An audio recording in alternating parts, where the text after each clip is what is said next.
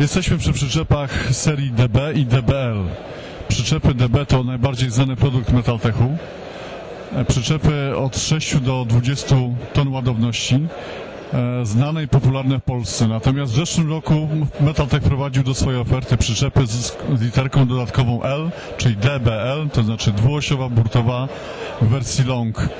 Czym ta wersja różni się od standardowej przyczepy? Głównie tym, że podłoga jest dłuższa o około 50 cm, czyli powierzchnia ładowna przyczepy to jest 2,42 na 5,20.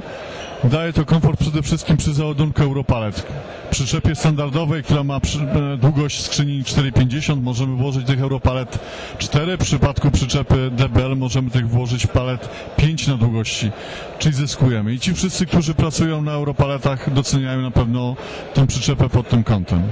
Natomiast jeżeli chodzi o pozostałe rozwiązania techniczne, doskonale są znane z przyczep DB, choćby gwarantowana szczelność skrzyni ładunkowej, e, choćby możliwość doboru różnego ogumienia e, i wszelkie opcje wyposażeniowe, jak wywrót e, hydrauliczna, ściana, która umożliwia podnoszenie całej ściany do tyłu i przy okopowych daje taki sam komfort pracy jak w przyczepach TS.